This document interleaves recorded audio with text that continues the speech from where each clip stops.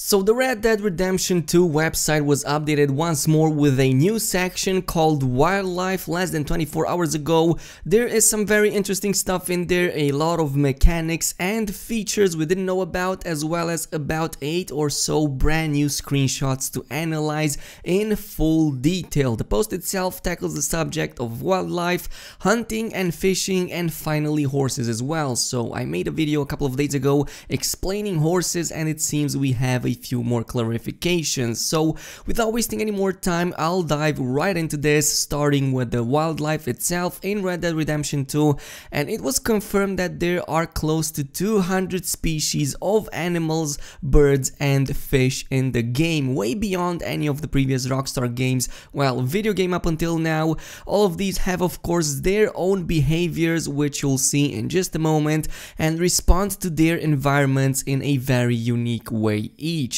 A few examples of this were given and it's just insane how much detail Rockstar Games have put into this game. So deer for example, bison and pronghorns traverse the plains in large herds, scavengers quickly sniff out carrions, salmon leap upstream just like in real life, wolves attack in packs surrounding their prey, geese fly in fixed formations, possums play dead. And rodents scamper into three hollows. Of course, we also have grizzly bears bluff charging when threatened and birds of prey soaring on thermals. So pretty cool stuff. They all form part of a complex ecosystem and must continuously fight for their place on the food chain. Later on, we see a few screenshots of what's most probably the in-game catalog with animals that you can keep as you discover them. If you didn't know, there is like a sort of cataloging wildlife in Red Dead Redemption 2 and Morgan can do that and you can see its description, its stats and all of that. This is most useful with the breeds of horses as you can keep like this catalog of horse breeds as well. So we have like a few screenshots of the California Valley coyote, we have the white-tailed buck which is just like a deer species, we have a couple of birds of prey like the turkey vulture as well as the bald eagle, the American alligator which is also part of the gameplay preview we saw like a month ago, the Tennessee Walker which is just one of the 19 or 20 breeds of horses that exist in this game. And later on you'll also see like the Morgan horse, not sure if it has anything to do with the protagonist but it's just one of those beautiful brown horses you can get in this game. And you're gonna see quite a little bit of horseplay in today's video. Down towards the end you also see the mighty grizzly which was also shown in the trailers and the gameplay video itself. And of course the lake sturgeon just one of the species of fish you'll be able to catch and then of course the banded Gila monster or whatever this lizard is because there are a lot of lizards in this game as well and as you know there is a desert area so these are just a few of the species existing in the game. Moving over to hunting and fishing these are essential skills for survival in the wilderness providing food, materials and a source of income. There's a huge variety of fish found in rivers, lakes and streams and it looks like selecting the right type of bait is also a whole game in itself. You'll have to prepare in advance not just for hunting but for fishing as well. Later on we find more info on how tracking and hunting animals is done. Tracking an animal takes focus and patience and you'll have to move carefully or you'll alert your prey. One thing that was confirmed by one of the gameplay previews, I believe by IGN or Polygon, is that the weapons and the shot placements will definitely affect the quality of the meat and pelt, which in turn will also affect its price at the market. So if you choose to kill a bird for example with a shotgun or like any bigger bullet, it will definitely ruin it and it will become almost worthless in the process. This means that you'll pretty much have to rely a little bit more on your bow and arrow and this will not ruin the animal corpses as much as gunfire does. So if you want to hunt something and kill it clean off and have everything in it still preserved, then probably this is going to be the preferred method and of course it's also mentioned in one of these sections. After a successful hunt, you can either skin and butcher the animal on the spot or take it with you as whole. Leaving it out in the open for too long will make scavengers come looking and there are plenty of those in the game. Moreover, skins, parts, meats and entire carcasses can all be loaded onto the horse to be sold to the butchers in town, taken back to the camp for for the stew pot or craft it into clothing and other items.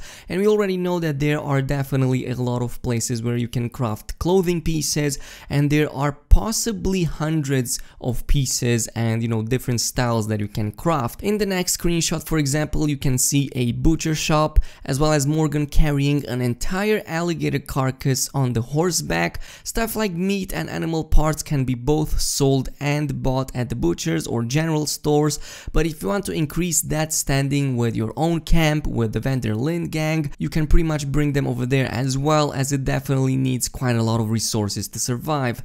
Animal hides are also important for crafting clothing and accessories as I've said and one of the screenshots down over there perfectly shows a hat which seems to have ornaments of some animal parts and if you look at all of these screenshots as a matter of fact you will see Morgan at various points in time wearing different types of hats all made from different types of animals. A very cool detail that we didn't know up until now is that should your first shot on a wild animal not be immediately fatal your prey will actually try to escape and leave a trail of blood behind. And of course since you're a hunter and you have that tracker vision you can pretty much follow it and see all of those footprints. And they also make like visual impact in the game as well like for example in the snow and all of that. And it looks that mercy killing is also possible in the game. Let's say the prey just runs away, runs out of blood, collapses and is still alive, you can definitely do a mercy killing on it and that is a very nice little grim detail that I like about this game. The next screenshot perfectly exemplifies this and you can see a trail of blood leading to where the animal collapsed in the snow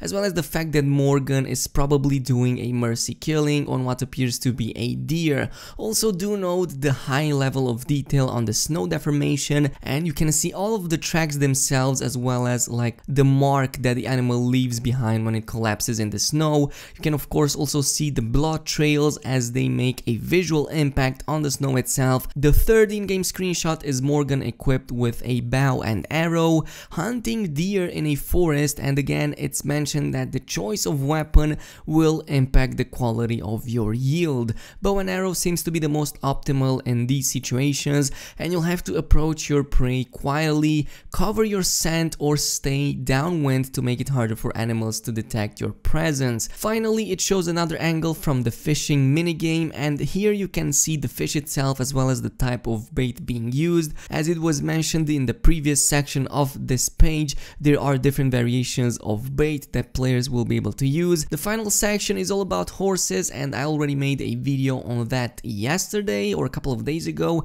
You can go and check that one out as well. But we found a few more informations that I think are pretty valuable. So first of all, we now know that there are in fact a total of 19 breeds in the game. All of them we already know have different stats and they are adapted to different types of environments. A few examples were given such as the Appaloosas, the Arabians, the Shires and the Mustangs. We do find another detail that I wanted to mention in the previous video but I didn't have official confirmation and it's basically the fact that we'll be able to fully capture and tame horses and there are quite a lot of species out in the wild. If you don't have enough money to buy a horse outright at the stables, you can just choose to capture them and tame them. Of course, it will take a little bit of time to also level your bonding with them, but I think it could also possibly be a quite lucrative way of earning money. So if you can buy and sell or trade horses, might as well start a collection and just hunt these wild horses, tame them,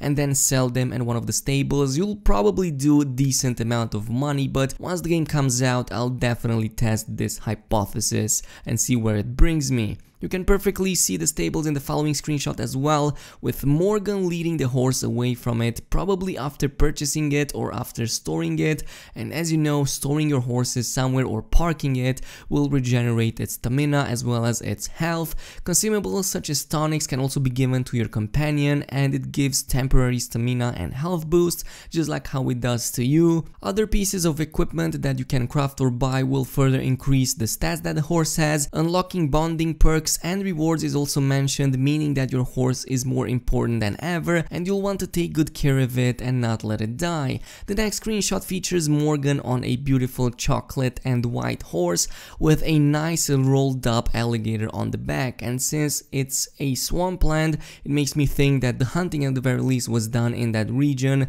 and uh, yeah alligators pretty much roam that particular section of the map. One thing that kind of caught my attention is the fact that this time around the alligator carcass isn't thrown right on the back on the horse and it's in fact rolled up nicely and pretty much tied up with a rope. So this kind of brings up the question, do you have this possibility later on into the game? Because this kind of looks as it would be better at preserving the animal corpses as well as not attracting that many scavengers to begin with. Finally, we have another mountain view and Morgan carrying his recent kill. This is an even better view with the snow itself. Not only does it have advanced levels of deformation and reacting in real time to any movement, but it also realistically sticks to clothing. You can see it being stuck on Morgan's boots and pants on the back and you can even see it on the horse itself. Of course, trees also realistically have snow on them and it looks pretty damn good. And this covers the recent info as well as the screenshots themselves. The video was a little bit later than I wanted to because these informations always get posted when it's night time in my region. So yeah, if you're asking about that, this is the reason why I was late with this one. But I hope that all of this info was useful to you. I hope you enjoyed this video and if you did, a like and a subscribe would be super appreciated. Also comment down below if I missed anything and I will see you guys in the next one. So peace out.